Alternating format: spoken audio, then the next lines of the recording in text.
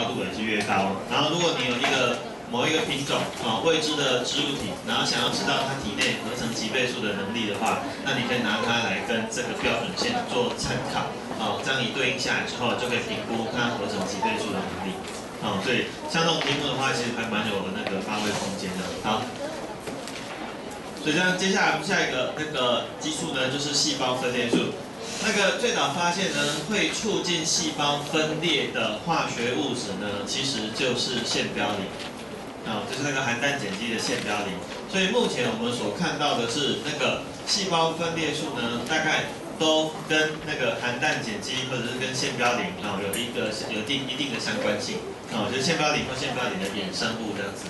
那顾名思义，就是它的名称已经告诉你功能了啊，就是它会促进细胞分裂。那一般来说的话，会促进细胞分裂，细胞分裂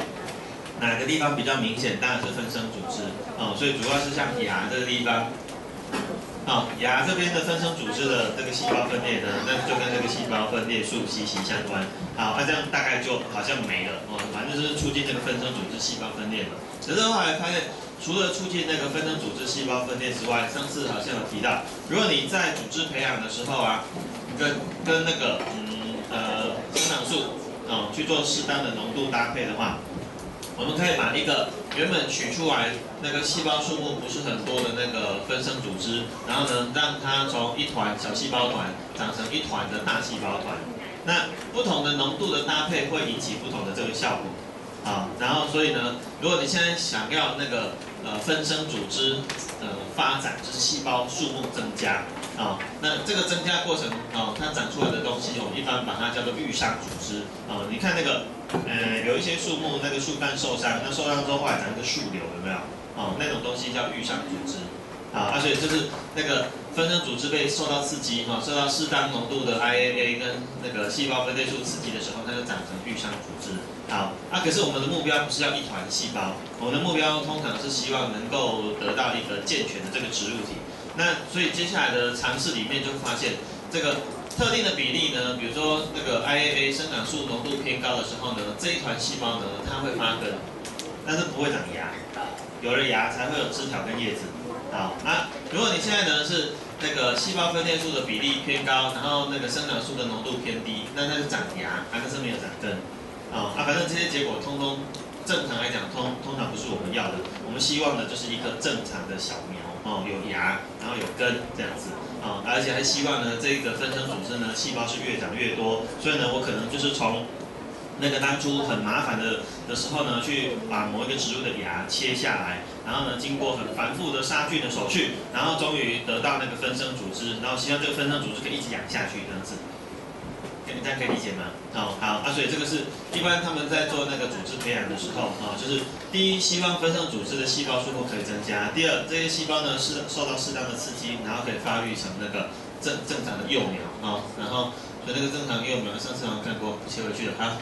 发育成正常的幼苗，然后，所以如果你只长牙，那就缺根，这样不行；只长根没有牙也很怪，对不对？啊，所以有一种就是说，你继续试下去，啊，总是可能会有试到某一个浓度呢，它会同时刺激长牙跟长根。还是这样试下去哈，有时候可能会没完没了，因为你要找到那个浓度，因为浓度的小小的这个人为的的配的这个误差，哦，那可能就差别很大。所以这样试下去也就是没完没了，所以后来有一些比较简便的方法，就是呢，比如说我已经确定呢，假设这个浓度的组合就是可以刺激细胞数目增加，好，我就分第一个步骤，啊，先用这个一个培养基，然后呢，它的功能是只刺激细胞数目增加，然后接下来呢，再换到另外一个培养基，另外一个培养基呢可以刺激它长芽，啊，那就先长芽，那没关系，没有根，然后呢，等它那个芽长出来之后呢，我再把它换到另外一个环境，然后呢，它会刺激它长根。就分步骤来，因为我这样虽然很多说，就是可能要分成三段的这个培养，那总比我花了很多的功夫，然后还不见得能够找到那个适当的 IAA 跟生的细胞分裂数的这个比例，哦，还要来好一点，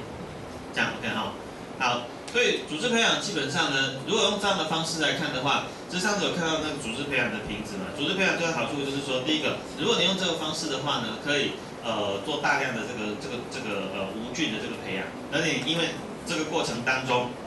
你你是圈取自某一个分生组织，然后所以大量分裂来的，所以你可以把呃焦点专心的就放在就是说给它一个良好的环境，比如说你调控那个温湿度、适当的光照，然后，类似像这样子，啊，那所以呃像一般兰花品种或者是一些高级的这个作物的话，啊，包括像木瓜，木瓜的话现在其实比较麻烦的是，一般正常的田间栽培啊，常常都会受到那个轮点病。你看那个木瓜那个那个皮的表面不是黑斑那种，有没有？那会引引引影响那个卖相嘛，对不对？就直接影响到价格啊。所以他们现在就是希望说，木瓜苗可不可以一开始的时候，我就先在那个无菌品里面啊，就是组织培养的方式先培育出来。然后呢，接下来呢，再把它等到那个小苗长大之后，把它移到那个温室里面去啊。啊，所以整个从幼苗到整个。种植的这个过程当中，都在一个比较良好控管的环境之下，那这样培育出来的那个木瓜的品质应。啊啊，这样的话是是，如果用这个方式的话，要要外销相对来讲就容易多了，因为如果你农连农药都能够比较有效控管的话，所以台湾的农业其实可能终究还是要走向这个哦，因为如果你还是用一般那种传统的方式，像现在，哦哦，跟风带来就是很多人叫做温蛋嘛，是不是？哦，那温蛋有看到新闻，然后那个市价好像有看到新闻。嗯，那学校是那个什么？那几根玉兰花，有看到吗？风风一吹，对不对？叶子快掉光，你们有没有看过？很惨的是几颗，你看。好，所以组织培养的好处就是说我可以用这样的人为的方法去做无性的繁殖，啊，然后繁殖出来的幼苗的品质又很好，这样子。啊，所以如果在这个过程当中，你想要去改变这个植物的遗传的话，我们可以取它的细胞，然后呢去做基改。你看，所以如果你把基改的技术再加进来的时候，那你培育出来的幼苗就是一个基改的幼苗。这样可以可以理解吗？所以现在的组织培养其实真的已经很多情况之下不是单纯只做组织培养，它会搭配其他的生物技术进来。啊，那这样的话又可以把把这个产业的技术层面呢再再度的提高。啊，当然基改植物重不重又有一些讨论的空间呢。啊啊，但是就是你可以想象一下，就是现在呃以往的呃组织培养，事实上真的帮台湾的农业，比如说像兰花产业啊，带来了其实非常大的这个商机啊。台湾兰业基本上能够发展的起来，组织培养绝对功不可没啊。啊，以前上次我们提到那个金线莲的例子，有没有？他们提到那个兰花的例子？啊，所以你去想象一下，就是你只要找到一个合适的对象去切入，啊，所以呃呃，如果不往这个方向走的话，说真的，台湾的农业我觉得真的，诶诶，应该知道台湾有很多那个不错的农作物品种被偷偷带到那边去，然后然后再回来，可能将来有机会会再回来台湾的话，那个对台湾其实是一个很重要、很严重的打击，这样知道吗？那个大陆在种农，我那个很多年前去大陆旅游，我就看到一个新闻，这新闻是什么呢？嗯，因为前阵子台湾也发生过，他就无无效的那个那个叫什么，就是专门卖那个幼苗呃不种苗的那个厂商，然后他就去跟农民推销，他推销对象是县，很大的县那种的，然后他是推销说，就是你们给我买这个种苗。然后到时候收成两年或三年收成之后，我保证收购价格。你应该听过这种桥段吗？台东那边之前有发生过那个有一个姜，呃，做姜黄的那个，啊，也发生过相同的事情。然后他那个是，呃，一推销出去之后几十公顷吧，然后种什么仙人掌，有一种可吃的仙人掌这样子，啊，然后结果呢，他那是整个县，然后那个因为好像有那种什么。政治力的介入，他们不是那种党部的那个叫什么书记，然后就介入了，然后所以就开始跟那个农民大幅度的推销，中间可能拿到好处还是怎么样，所以他那个栽培面积我忘记数字，但是很夸张，就是感觉像就是以以那个什么中部中部两三个县市投入的那种程度这样子，然后最后终于要到收成的时候呢，人不见了，但是在那栽种下去，然后呢，问题是后来呢？真的要卖的时候，根本就找不到那个负责要帮你销售的人，所以最后就放着让它烂掉哦，所以你会想象他们那种栽培面积啊，就是只要两三年呢，就可以马上推到那么大。这个只要有一些呃助呃，就是帮忙助推的这种这个政府的这个力量的话，事实上其实很可怕的。哦，所以像台湾的话，已经知道的像那种什么香蕉啊，然后嗯我们家的葡萄啊等等那种，其实早就有一些人就偷偷把那个。品种就带过去。哦，他说那个真的种起来的话，应该还蛮可怕的。所以台湾的农业正在升级，但是台湾的农业真的可以做。好，所以组织培养这个技术闲闲没事哦，就是加减去玩一玩这样子哦，把它当成一个技术学习来，将来有一天可能会用得到。好，然后上一次在讲那个生长激素的时候有提到，生长激素会造成顶端优势的现象，就是顶芽的发展会比侧芽来的好很多，然后维持整个植物的生长趋势是往上发展为主，呃，侧边发展为辅，这个叫顶端优势的现象。那你要。你要把那个顶端优势给去除的话，哦，破坏性的办法就是把顶芽也剪掉，对不对？所以我们讲说这个茶树，哦，茶树的话就越勤劳摘顶芽越好，哦，因为你每摘一个顶芽，可能可以换成好几个侧芽这样子。好，可是要那个增加那个呃破除那个顶端优势，有没有一些非破坏性的方法？就是这样子，因为我发现细胞分裂素，因为它会促进那个分生组织的发育，所以你只要对侧芽施用细胞分裂素的话，就可以让侧芽开始发育。所以这是非破坏性的方法，但这个对农民来讲不会用啊，因为我摘，比如说你看，我若以茶叶的采收来说的话，我摘一个顶芽，然后没多久之后呢，它侧芽开始发育，对不对？所以我这次有采到，我下次还可以采更多，对？所以这样的做法，我干嘛要去使用那个细胞分裂素？啊，所以对农民来说的话，这个额外增加成本，那不见得很很实际的，其实他们不会用，但是有这个现象在就是了，啊。那目前怀疑它的合成部位呢，可能是在根尖，这里稍微留意一下。所以它的运输管道很有可能是透过木质部。那另外还有一个更大胆的推论，他们认为像我们学校那个这样，礼拜天我我记得有进来一下拿拿的东西，然后就发现那个倒掉的。你看我们那个大王椰子树下种的那一排，那个粉红风铃木，有没有倒掉了？你会发现那个根，那个地上已经快长到。快将近一层楼，地下的根才多深？看那个有几颗的深度只有这样子，啊，那是没办法，因为它是扦插的。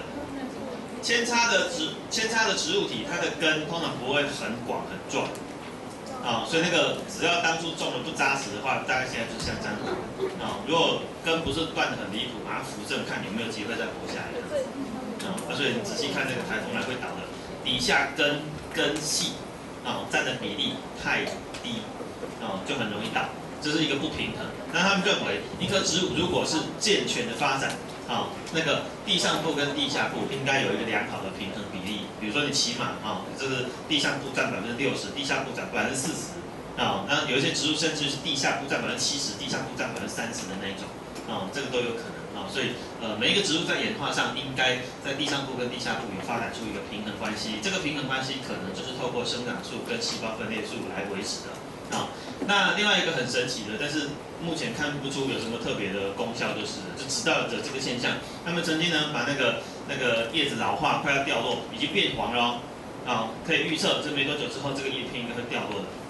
然后结果呢就把这个即将脱落的这个叶片呢开始喷那个细胞分裂素，然后喷一喷之后呢，这个叶片呢回春，就变成深绿色，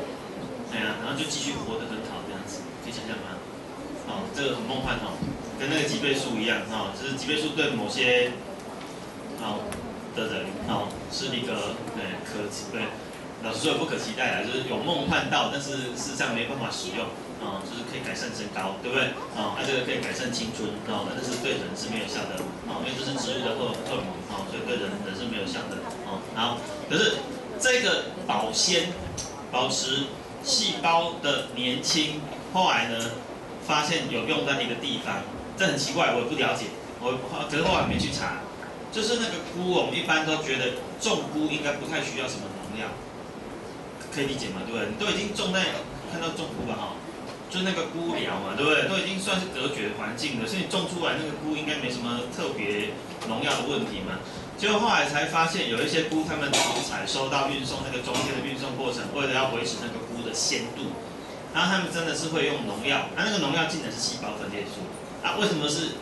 植物的荷尔蒙用在菇上面？我也不了不了解，但是据说这样是有效的，就是。所以如果你买那个那个那个新鲜包装的那种菇啊，基本上可能买来之后还是稍微洗一下比较安全的，因为你不知道哪一种的曾经有用过农药这样子。哦，所以菇还是有农药残留。哦，后来才发现原来其中一个原因就是这个。啊，为什么要用？不知道，可是有效，据说的。啊。老师，那我们知道细胞。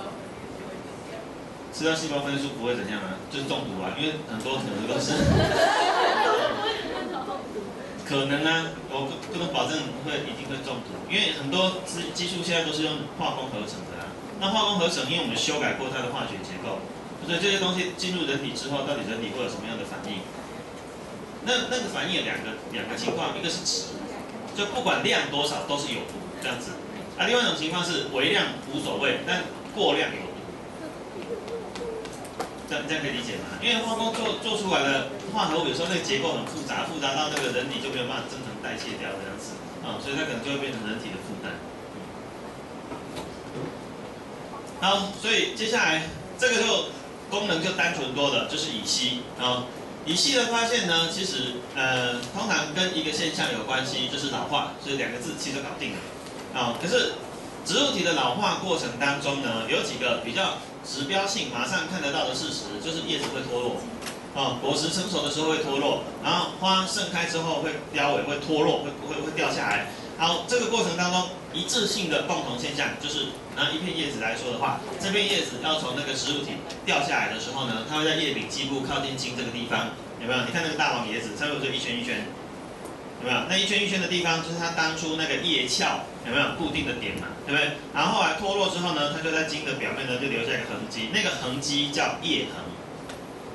好，就是叶柄或叶鞘，哦，单子叶主要是叶鞘嘛。那所以这些构造脱落的时候，在茎上面留下的痕迹叫叶痕。叶痕的那个地方就是节的位置。你看，靠竹像像有些植物像竹子，哦，竹子你不用等它叶子脱落的，因为竹子本身它那个节。哦，那个构造就超级的明显。对，很多植物的话，事实上我们是透过那个这个地方有长叶柄，或者这这个地方有发展出新的枝条来判断，哦，能够长叶子、长枝条，这个地方一定是节。啊，所以大王椰子其实它是我们是透过叶痕来判断这个地方有节的存在，这样可以可以理解这个意思哈。啊，所以现在的问题是我们每次看到那个叶柄脱落的时候，怎么都在那个茎上面留下一个很干净的伤痕，叶痕啊。对不对？那为什么那个地方因为脱落过程当中没有造成那个组织的不规则性的破损这样子？啊，那原来植入其实早就设计好了啊。后来在组织切片里面呢，就发现，在老化的部位，像叶子、果实、花即将脱落之前，它会在这个柄靠近茎这个地方先形成一个脆弱的断层，我们就把这个脆弱的断层叫做离层。你看，所以现在这个应该还蛮清楚的，这这个切片做的其实很精彩。所以你看这个地方呢，它把一些细胞呢刻意分解，变成超级薄壁细胞，而且只有在这个区域出现。然后旁边这边呢还是健，这边是靠近筋啊，这边是那个健全的组织。然后右边这边呢啊有稍微处理过，这个地方这块这个是维管束。那本来这个叶柄上面的维管束呢，应该连过来连到筋上面。好，所以它现在是把原本那个维管束经过的这边靠近那个要形成离层这边的维管束呢，通通都分解掉，让它变成是薄壁细胞。你看，所以管子就断掉，因为这个里面有很多厚壁细胞。然后接下来再刻意安排，就是这边集中有一区特别脆弱的薄壁细胞。你看，那不只是这样子，离层基本上就是一个脆弱的断层，所以将来呢。呃，叶子脱落的时候就会在这个地方呢，整个撕裂开来。可是你撕裂开来之后呢，叶子这边是不要的，可是茎这边还在。那所以呢，它会在那个靠近茎的这边呢，再额外先形成一个保护层。比如说，因为这是木本植物，所以它就形成木栓层。你看，所以到时候呢，当这片叶片的呃重量。啊，或者是风吹来的时候，然后让这个离层呢整个撕裂开来的时候，靠近茎的这边已经预备好一个初级的这个保护层，那之后再强化没关系，但是我要先把那个基本的保护先做好。好，所以它就从离层这个地方裂开，那对裂开之后呢，就会在茎这个地方留下一个叶痕这个痕迹。啊，所以这一切都是设计好的。好，好，那以前一开始的时候，先谈这个问题，离层的发现其实算很早。但是当时候就想说，那我如果把那个快要脱落的叶子把它取下来，然后呢把它萃取，然后从那个叶子里面残留的成分来分析，可不可以找到一个引发那个离层的一个化学物质？你看，然后所以那时候一找找到谁？那时候竟然找到谁？离素或者离层素或者叫离酸这个化合物。所以后来呢，他们以为啊。形成负责刺激离层的形成的化学因子就是这个激素，哦，所以把它命名为离层素。就后来发现误解了，因为很凑巧的是，因为离离酸啊，离层素基本上它是一个有机酸，然后它不会挥发。然后呢，一般老化的叶子啊，已经确定要被放弃的时候，通常它的离层素会浓度会比较高，因为这个时候要强迫这个叶子的气孔关闭，减少水分在这个部位的蒸散。所以用意本来是这个样子，那后来我们误以为是这个化学物质啊造成离层的产生，那因为那时候根本不会想到这件事情，乙烯是气体，哎呀，所以它很很快就会散掉，所以那时候也没有想到我们要去从叶子当中去取乙烯这个东西出来，因为没有想到会有激素是属于挥发性的，啊，所以就忽略了这个这个角色，然后后来事实证明啊，真的不是离层素造成离层的产生，它只是凑巧。啊，那个老化成熟要脱落的部位啊，它也会有那个离层素的存在，但是它调节的是其他的生理，比如说关闭气孔、减少蒸散。啊，然后降低代谢率、减少能量的浪费等等这样的一个用途啊，所以真正造成离层的其实是乙烯，所以那老化的部位当中啊，造成老化、造成离层产生的这个主要的激素呢，就是乙烯啊，现在已经厘清了，不过好像后来也没没改啊，离层素的名字后来一一直都没有改。啊，这个是有点麻烦，因为每次讲到这里的时候都要澄清这段的历史啊，所以离层素的名字是当年的一番误解。好啊，所以离层的产生是由乙烯所造成的，老化的问题也是乙烯所造成的。那问题是我每次都得等到那个果实成熟或者花要枯萎掉落的时候，或叶子老化要脱落的时候，才看到这种老化的现象吗？有没有平常就可以看到老化的现象？所以呢，干脆既然要看老化，那我们用一个强烈的对比。找那个很年轻、暂时都不用谈老化的部位啊，所以幼苗啊，所以呢，一般假设这是正常的这个幼苗生长的话，他们就发现你拿那个幼苗来，然后呢，直接对它施用乙烯啊，然后哎，果然这些幼苗呢，它的发育就会变得有一点跟正常的情况不太一样啊，那它归纳出三个很明显的特征，所以把它称为叫做三项反应。那这个项可以写这个项，也可以写方向的向。因为这是翻译的问题啊，所以三项反应是什么呢？这个用一个简呃三句话简单的说辞，就是一，这个幼苗会变矮，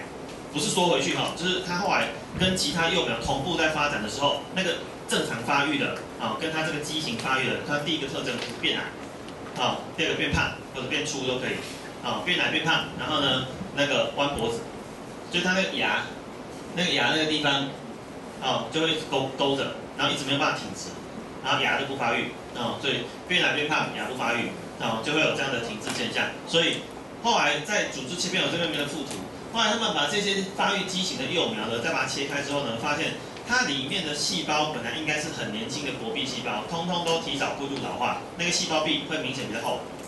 就它本来应该还年轻，这个细胞壁还薄薄的，啊，它所以有很大的生长空间，就发现没有。好，啊，所以目前来说，它跟生长激素应该。因为生长激素会促进生长嘛，对不对？好，那乙烯基本上会促进这个老化，所以它跟那个呃生长激素基本基本上对生长这个部分的影响是有拮抗的。还记得拮抗这个词吗？那个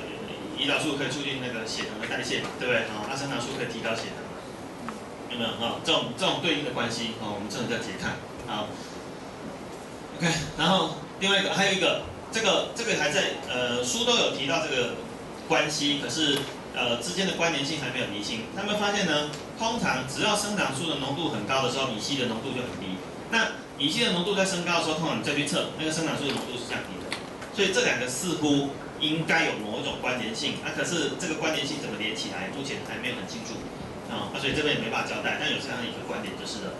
好，所以最后一个激素呢，就是离离层素，简称离素。那你也把它叫离酸，因为它是一个有机酸，然后代代号 ABA，这很常用。所以那个细胞分裂素那个 CK 啊，然后那个基倍素的 GA，然后天然生长素里面最常见的 IAA 啊，这些呃常用的缩写啊，就是稍微留意一下。那离生素的话，后来发现真正啊比较容易出现的部位呢，通常是那一些呃处于休眠的，比如说种子。啊，比如说那个不发育的芽里面啊，就有可能还有那个老化的叶子里面恰好比较多，因为老化的叶子我们要关闭它的气孔啊，减少水分从这个地方的散失这样子。好，所以因为它我们发现的那个种子里面只要含有比较多的离层素的话，这个种子呢它会呈现休眠。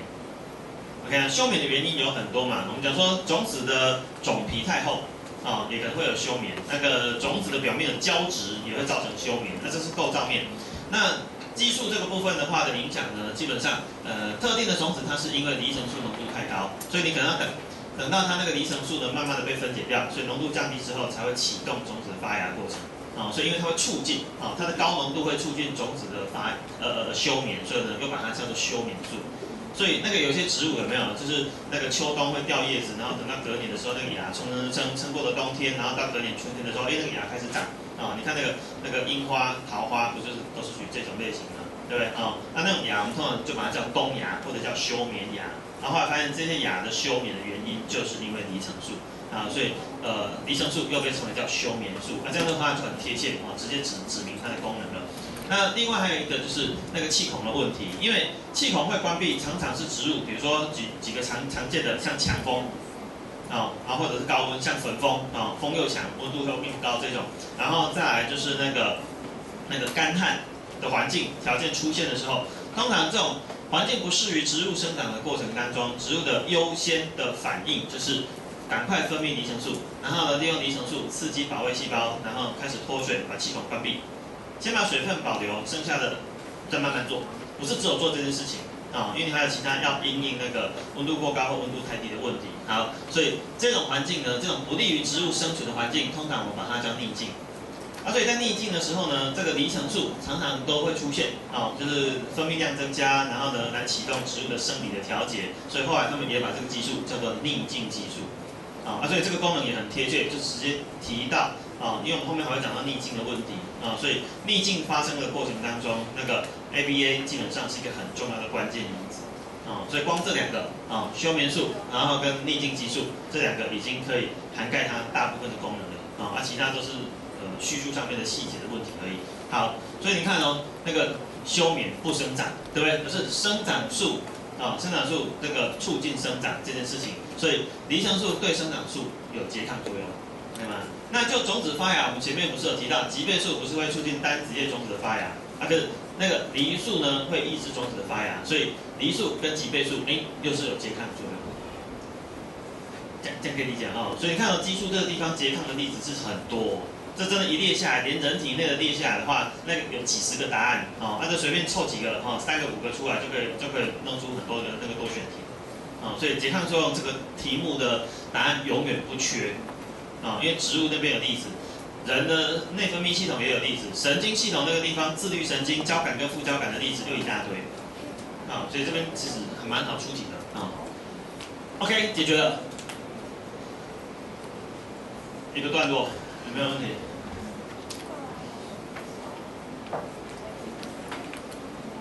哎，下礼拜有多少人不在？看一下，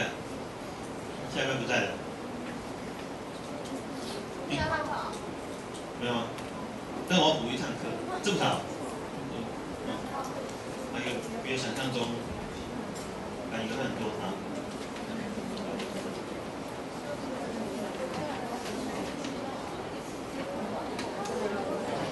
啊？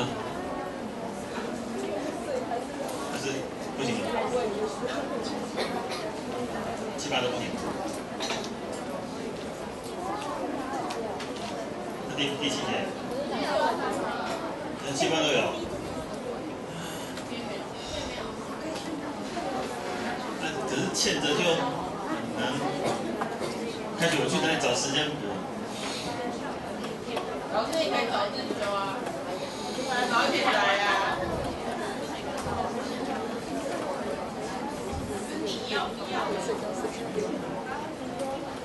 努力一下看看。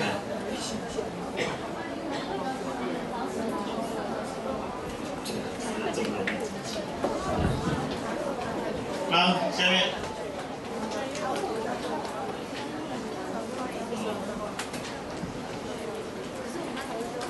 不是。好，所以接下来要看一个比较麻烦的问题，一百八十五页。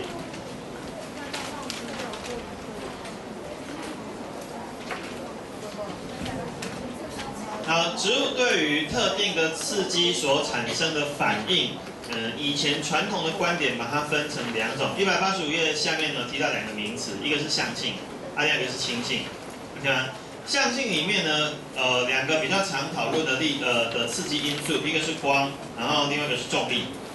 好，那所以光的部分的话呢，像那个向光性这个部分啊，它就是一种所谓的那个向性的变化。那我们之前有提到，向性一般正常来讲都是一个生长的改变。比如说你现在给它测光源，然后那个植物后来长出去的部分开始往光的方向去调整那个生长的角度哦，那所以就是向光性。那像金的话，你看那个下面，金基本上一般来讲有两个向性可以讨论。光的部分的话是讨论向光性，重力的部分呢，重力部分的话可以讨论那个负向地性。啊，你可以把它挂号一下，也有直接把它叫背地性。这你把植物体那个幼苗整个遮光，然后把那个幼苗横着摆，啊，就算没有光的刺激，它一样茎的发展还是往上涨。啊，那个负向地性或者叫做背地性，所以这是重力的影响。那根的话呢，比较常讨论到的是那个，呃，就是那个那个根根根的向地性，根的向地性是重力的问题。啊，那还有一种有人有提到过，那个根好像喜欢往潮湿的的方向去发展，啊，所以也有人把这个叫向湿性。啊，那另外还有一个就是我们没有特别去看的，就是那个向触性。啊，向触性一般认为是那个茎在发展的时候，它碰到某一个物体。哦，那它好像比较习惯贴着这个物体生长。哦，蔓藤类的植物当然就很明显。啊，那如果不是蔓藤的茎，那很有可能就是它的卷曲叶。你看，所以这些所谓的向性的共通性，就是它是由生长激素去负责调节的。第二，它是生长的变化。所以当这个刺激发生的当下，你不一定马上看，呃，不对，不是不是不一定，但是必定马不能马上看到结果，你要等。啊，二十四小时之后，四十八小时之后，它后来再长出去的部分，你才慢慢的可以看到那个变化在。哦，这是反应的发生，不是立即的。好，所以以往的话，会把像这种马上才马上就会发生的，好，你就碰触含羞草的叶子，然后你马上就看到它的小叶片会闭合。OK 啊，所以就把这种呢叫做轻性。啊，就是那个文字下面写的那个轻性。啊，所以这个部分呢就可以去讨论运动。因为一般我们拿这个动物的运动的观点来看的话，运动是什么？你的肢体角度发生改变，啊，你的位置移动的，啊，这个是一般我们在动物定义那个动物行为哦，或者动物运动的过程当中常常用的一个一个说辞，啊，就是肢体上的发生改变，然后或者是位置发生改变，这叫运动。那植物当然很难展现那个什么位置发生改变。对不对？好，那肢体上面发生改变，这个风吹来当然不算，因为是被动的。所以勉勉强强像这种的话，你碰它的这个小叶，那小叶片会闭合，然后叶柄会下垂，哎，这样应该可以算吧？因为这个过程当中时间又短，这么短的时间应该没有生长的变化问题，所以以前就把这个叫轻性。所以轻性基本上就是用来讨论植物的运动。你看，然后后来再扩大去分析之后，发现植物的这些。嗯，还可以算得上是运动的现象，事实上几乎都是水分平衡的问题。啊，它是利用膨压的改变，然后来展现在那个，比如说小叶片闭合等等，啊，这样的一个特征。啊，按以前的分法很单纯，向性就是向性，轻性就是轻性，轻性就谈运动这样子。结果那个就是我们的这本，哎呀，不小心去看到的。啊，啊，是他搞怪，就是就写了一个，就是说，它只要是符合那什么接受刺激产生反应那一种。哦，然后都可以称为是属于那个运动，所以它把向性是归为运动，可以理解这个诡异的地方吗？只是我明天还后，明天还是后天才看得到结果，记得哈？哦，就到底就有人扒你一下，然后你后天才觉得我好痛，哦，这不是很奇怪？你可以理解那种啊？哦啊，那所以这个是课本里面，那有其他版本就是。大家在这个地方的见解都不同了，哦，那所以将来会不会因为这样子造成那个答案的冲突，不知道哦。现象就在这边呐，可是人的归纳方式有问题啊，这样子哦，就是大家的见解不同啊，所以这边就稍微留意一下。所以回来谈这个，所以撇开这个部部分不谈的话，我们就很单纯来看的话，植物会有这种那个构造上立即性或者比较短时间就可以发生的，通常是利用膨压啊。所以含羞草你去碰触它的时候，首先要谈含羞草的一片叶子，这样是一片叶子。啊，那这角度看不到，这角度看得到，叶柄在这里，啊，所以这是它的茎。这样，OK 好。那为什么这样是一片叶子？因为如果你把上面的一小片一小片的当做叶子的话，那就会有一个问题了。你把叶子，把把这样一小片当做叶子，那表示这个是茎。因为叶子长在茎上面，对不对？啊，所以这个地方如果是茎，那它一定有一个可能性会长芽，对不对？茎上面不是有节，节要么可以长新的叶子，要么可以长芽，对不对？所以你去看这四条，没有一条可以再发出新的芽的。OK 吗？好，所以再往前追，这个不太像，对不对？再往前追，这根固定的地方在这里，哎，这个地方这里下面就有看得到，这根其实有一个小的芽。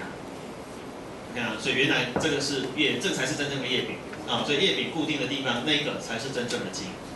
OK 啊，所以这个是羽状叶的特色，当然它的羽状比较特别一点啊，像我们那个凤凰木这次也是很惨的哈，吹的也是很。断的不少的，它那个也是羽羽状叶，可那羽状叶是一回两回，然后才羽状，哦，啊它是那个四出，哦，就是叶柄上来之后分成四条线路线，啊，然后分别是形成羽毛状这样子，好，然后所以现在问题是，你去碰含羞草的时候，应该很明显，第一个这个地方叫小叶，啊，小叶的地方呢会闭合，啊，这是闭合起来的，对不对？然后第二个反应的部位在哪里？叶柄的基部这个地方会垂下来。所以它本来是挺高的，然后后来就垂下来，然后小叶会闭。OK，为什么做这样的动作？这很有可能其实是为了避免草食性动物去破坏植物体的一个做法好。所以你想象那个草食性动物，然后那个比如说牛，然后嘴唇很厚，然后不小心碰到，然后呢它就缩下去，缩下去之后，就算牛吃到了，但基本上那个损伤的比例也可以大幅降低嘛。这样可以想象吗？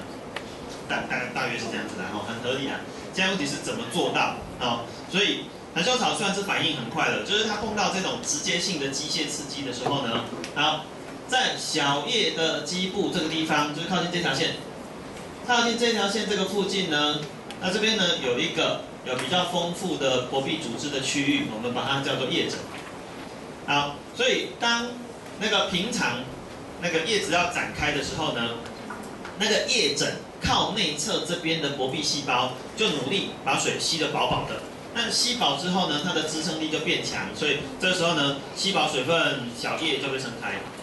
啊，因为叶枕内侧这个地方的薄壁组织拥有比较好的膨压，啊，那所以支撑力好，所以叶片呢就被撑开。那当你去碰它的时候呢，它可以短时间之内让水分快速流失，所以内侧叶枕内侧这个地方的薄壁细胞呢，因为水分流失，膨压降低，所以支撑力变差，支撑力变差。你看这个速度很快嘛，哦，应该都玩过嘛，对，所以碰它的时候很快就闭合。你可以想象那个回到细胞本身来讲的话，那个水分流失速度一定是很快的，啊，但就这个地方基本上可以。呃，灵活的调节水分的进出，哦，然后来影响那个小叶的展开的角度，啊，所以平常的时候是展开，碰到的时候赶快闭合，啊，那这样的话可以让那个目标比较不明显这样子。好，可是这个是小叶这边，如果你去看叶柄这边的话，叶柄这边它后来是往下垂下来嘛，好，结果我们发现这个这边没有图，但是我们一样用这个来讲，它是颠倒过来，假设这是叶柄的话，那叶柄的基部也有叶枕，那叶柄为什么会垂下来？我们发现是那个叶柄下方的叶枕细胞。啊，但是下方的叶枕细胞呢，在碰触接受到刺激之后呢，下方叶枕下方的薄壁组织快速脱水，所以本来下面叶枕下面的这个薄壁组织，如果细胞水分膨压增加的时候，它就把它撑起来，叶柄就被撑起来，所以下方的细胞呢，快速脱水之后，它膨压下降，支撑力变差，所以叶柄就垂下来。那这个动作一样很快，如果你玩过的话，你会发现那个如果刺激是够明显的话，是小叶跟叶柄是同时反应的，行吗？好，那所以那个这个应该很熟悉，但是是解释上你要留意一下。所以，嗯，下课时间你可以欣赏一下这个，啊，这是跳舞场，啊，那个花博曾经有展示过这个，有没有？啊，这个植物就是这样子，你就站在它面前，然后对它鼓掌鼓掌，然后它就这个是叶片，然后旁边有小叶，所以它那个小叶就一直转，一转一转，没那么快啊，它这个那个是间隔摄影。那所以他们走走走走走走走走走走，可以可以转一圈这样子，啊，这样你自己慢慢欣赏。